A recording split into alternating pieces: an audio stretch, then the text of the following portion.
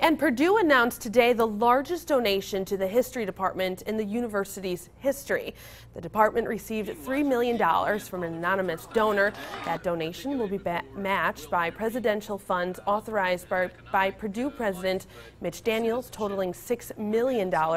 Daniels says the timing of the donation goes along with one of his new initiatives focusing on STEM disciplines. We accept and, and really insist on uh, their responsibility to learn the liberal arts along the way. I was working on the initiatives and the possible donation on very separate tracks, but uh, I think it's uh, fortuitous that the timing came together as it did because it makes this point. The donation will fully fund two professors and classes on the history of technology and medicine. STEM initiatives include science, technology, engineering, and math.